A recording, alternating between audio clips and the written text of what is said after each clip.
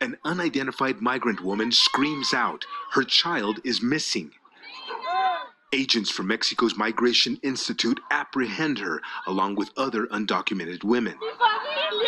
The frightened women, many from Central America, are pushed into a Mexican government vehicle.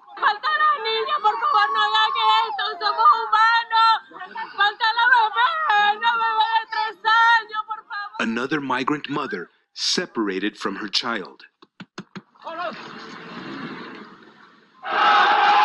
New groups of migrants cross through southern Mexico daily. Many Haitian migrants are among them. Most left Haiti years ago and traveled to Brazil to seek refuge. But the economy there is also failing. To have been in Tapachula, Mexico for four months. We have no papers, no house, no food, nothing. There are many races here. As migrants continue to arrive, tensions are building in southern Mexico.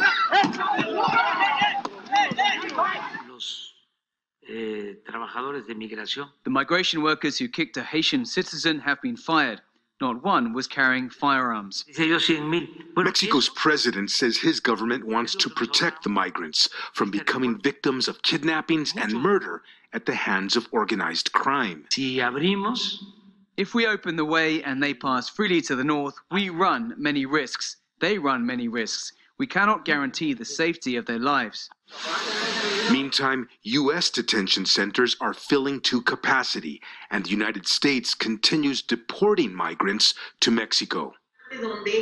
Migration expert Dr. Leticia Calderon says Mexico is aware that ahead of U.S. midterm elections next year, immigration will be a top political issue for President Biden. Si México, aún con el costo político, If Mexico detains the flow of migrants for just a few months, even if it comes at a political cost, that will give Biden some breathing room with the Republicans.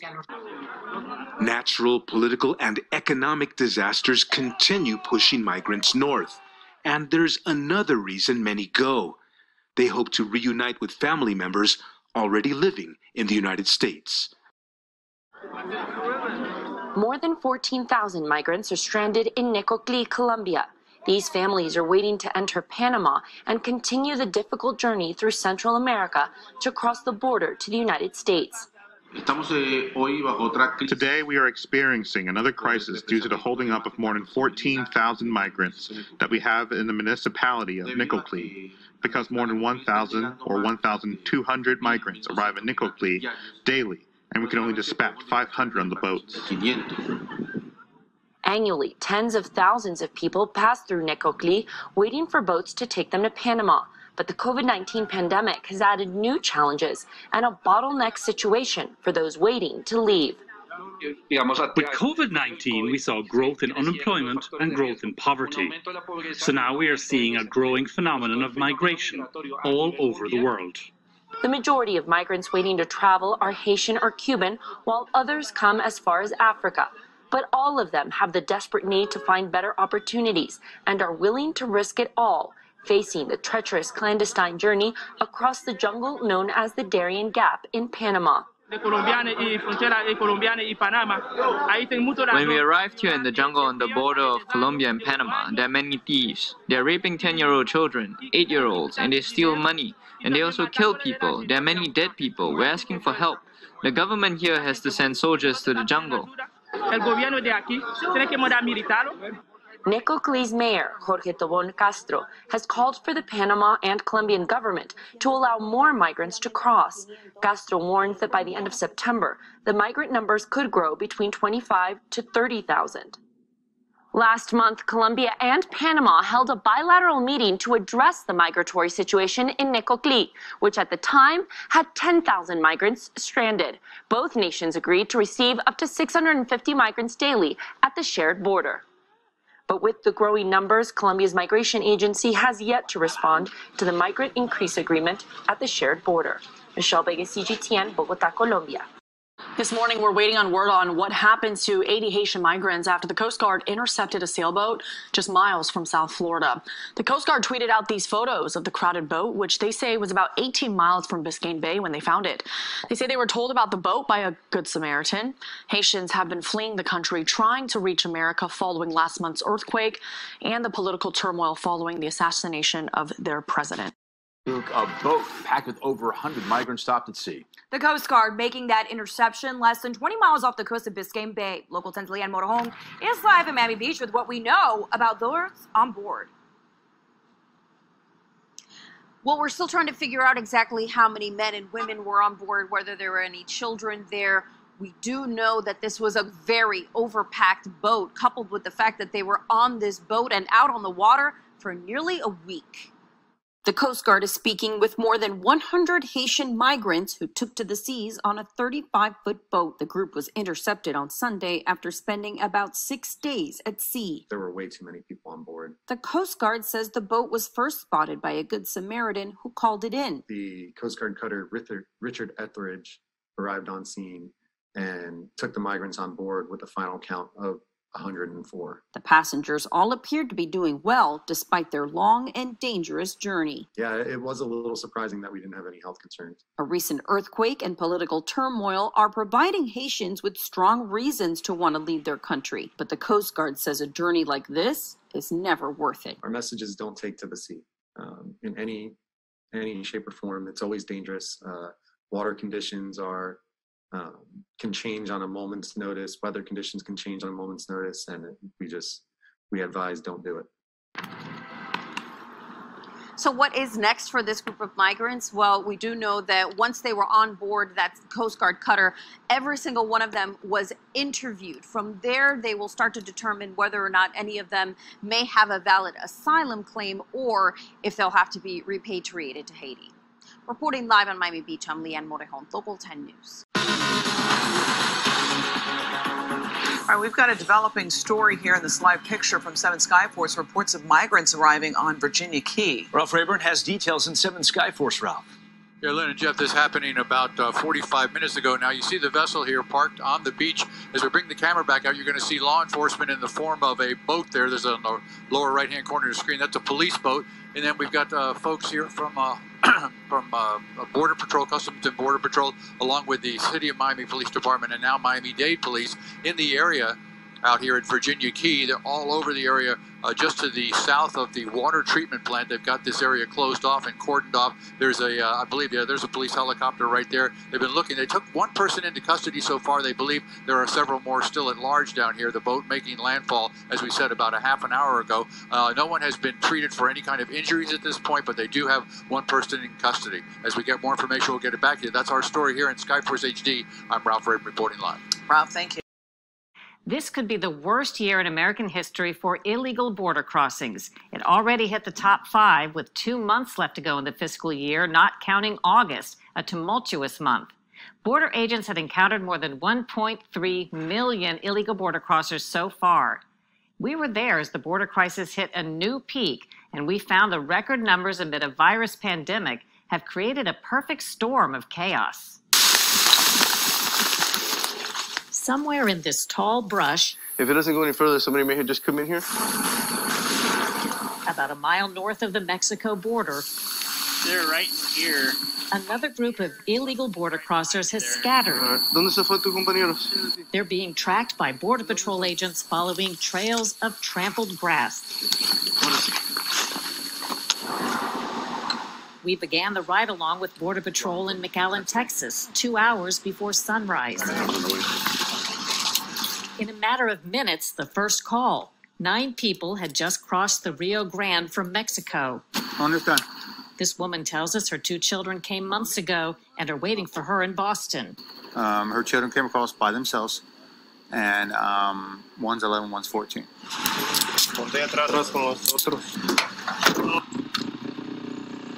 Border Patrol never closes, sleeps, or stops. And the Rio Grande Valley sector is the busiest in America during a record setting year. Making matters far worse than ever before, the pandemic. Just before our visit, one in five illegal border crossers in some groups were reportedly infected with COVID 19. How common is it that your agents screen somebody and they do seem to be sick? It, it does happen quite often, but we just encountered a group this morning of five individuals, and one of the females let one of our agents know that she has COVID. American citizens who leave the country can't get back in the U.S. without showing a negative COVID 19 test. But for non citizens crossing illegally by the thousands, there are no such requirements, and the feds aren't testing them for COVID before releasing them in the U.S. This is, the, is this the main area, like the largest? The dysfunctional arrangement has left border communities and nonprofits scrambling to help the immigrants while protecting U.S. citizens from COVID. Uh, we immediately found out that they were not tested for, for the virus. So. Sister Norma Pimentel heads up Catholic Charities in the Rio Grande Valley, which operates a giant relief warehouse in McAllen. She says her group was initially placing COVID positive families at local hotels, but quickly got overwhelmed. So that operation continued and grew as more people arrived here in greater numbers. Of course, we were getting so much more people with COVID positive. Uh, the percentage overall is it had always been about a seven percent overall of COVID positives. But with the high numbers, that was a lot of people, you know. And so that's you saw the COVID numbers go up, or just the overall numbers? The overall numbers were going up, so the COVID numbers were were high as well. And so uh, I said, if after today, if numbers continue as they are, we we will not be able to hold them inside. Just before our arrival, local officials closed off a public park near the border, eight miles away, and set up a tent city to test immigrants and try to isolate the ones with COVID.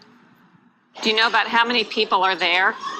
Right now, uh, it has already gone to 1,300 plus. Yeah, it's growing really quickly. Pimentel says the families of the McAllen Center are negative for COVID. Here, they connect with family members already in the U.S. and are sent on their way to destinations across America. I would say uh, we process close to between 6,000 to uh, maybe a little bit more this last two weeks in the one week. 6,000 a week? Maybe more, yeah. That's just a fraction of the total releases. Border Patrol is so overwhelmed, it's taking immigrants to other cities and spreading the crisis state to places like Laredo, Texas, a three hour drive from McAllen. We should be embarrassed, frankly, as Americans, uh, to, to have a system that is in chaos. Mayor Pete Saenz says Laredo got inundated by the release of hundreds of immigrants a day. The city is suing the Biden administration to try to stop it. A week before our arrival, they began working under a temporary agreement where Border Patrol releases the immigrants at a central staging area. So they actually uh, transport these migrants a few blocks from their Border Patrol station, which is convenient for everyone. And they drop them off.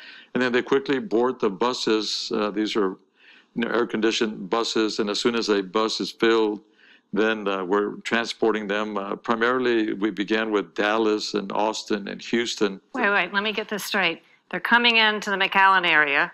They're being bused or taken here to Laredo, and then you are busing or taking them to Austin, Dallas, and Houston. Correct. Correct. At, at a cost of between eight thousand to ten thousand dollars a day. not because we don't want to treat them, it's because we can't. Uh, you know, it's, it's an impossibility at this point, simply because of the hospital, you know, very limited hospital capacity that we have. Americans who aren't down here on the border, they hear complaints and they don't know what to believe. Right. What would you tell them about that down here? I, as a mayor, just look at my city. I don't care if you're a Republican or Democrat. What what is working for my city? What is in the best interest of my city? Whatever system is now in place is not working. It's truly not working uh, because we at the border are experiencing that that uh, that that risk, that danger, uh, the the burden. The federal government, if, you, if that's your policy, and that's fine but implement it, package it, organize it, uh, operate it for us, and finance it. Uh, uh, but I haven't seen any of that. We asked for interviews with President Biden, Vice President Harris, and Homeland Security Secretary Alejandro Mayorkas, but none agreed to talk with us. In announcing the record number of illegal border crossings for July, Mayorkas blamed poor conditions in Central America, COVID 19, and President Trump. Tragically, former President Trump slashed our international assistance to Guatemala, El Salvador, and Honduras, slashed the resources that we were contributing to address the root causes of, irre- of irregular migration. The Biden administration plan of action includes a major focus on more U.S. tax money for Central America. That includes $280 million to fight crime and corruption and for job opportunities, election participation, small businesses, and gender equality. Back in the field, agents are searching for a dozen illegal immigrants who bailed out of a vehicle and ran into a neighborhood. These men say they're from Honduras, Guatemala, El Salvador, Peru, Brazil, and Mexico. This man tells me he worked in financial services in Honduras and has a wife and daughter who came first, waiting for him in Denver. To get here, he says he agreed to pay the cartels $8,200 which raises another hard reality.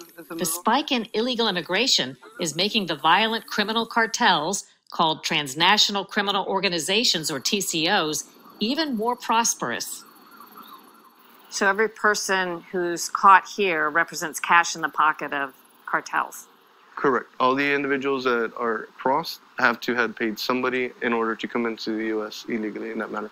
And she had to pay 50,000 quetzales. I don't know that. This woman says she paid the equivalent of more than $6,000 from Guatemala. She's headed to Ohio, where she says her husband is already waiting for her. She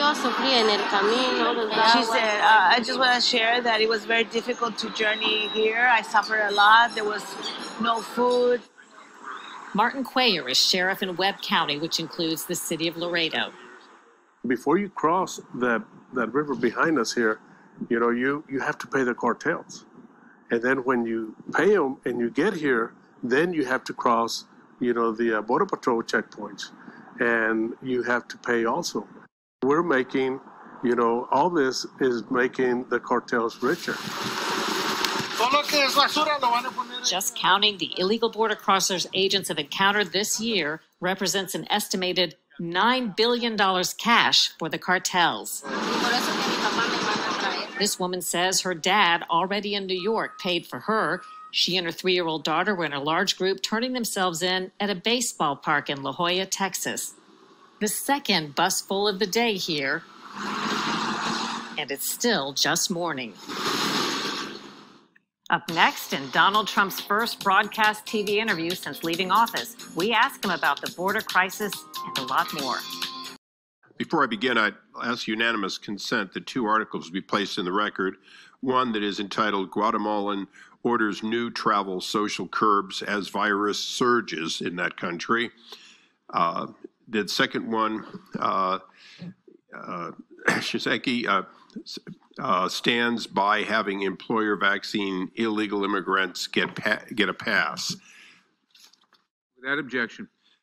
Mr. Chairman, since the last amendment was voted down, it makes this one all the more appropriate Mr. Chairman, as you can see, this simple common sense amendment says if the president is to go forward and push and shove at the Constitution and tear at the very fabric of liberty for American citizens, requiring that firms that have more than 100 employees all be vaccinated uh, or face a, a fine of over $13,000, require that members of the military be vaccinated or be discharged and lose their retirement benefits.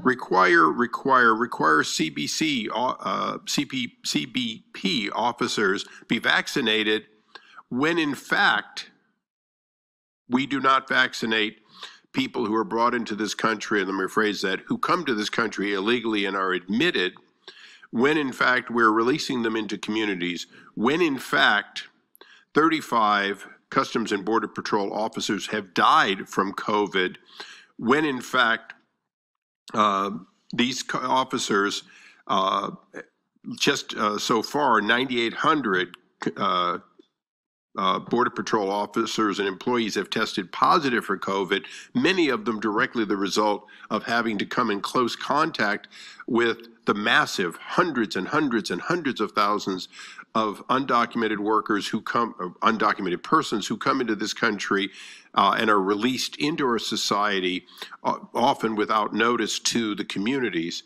The idea that they would be released without being vaccinated is, is simply something we cannot uh, understand. And Mr. Chairman, as you consider the inevitability of, of your orders to not accept any amendments, I would ask that you take a good look and ask the question, how could you be so inconsistent on the president's orders and ability when it comes to people who are being released into the community, particularly as the earlier article I put in, Guatemala is one of the major countries delivering uh, undocumented individuals to us, is in fact surging.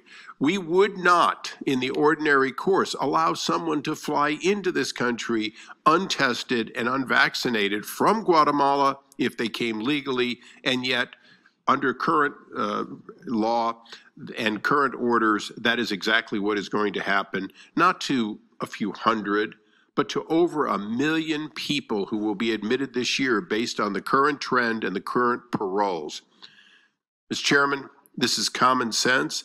It will not take down the bill. It is completely within the, the uh, intent and jurisdiction of the, this legislation. Just like the last one, it will be ruled by the parliamentarian uh, to be germane and sufficient.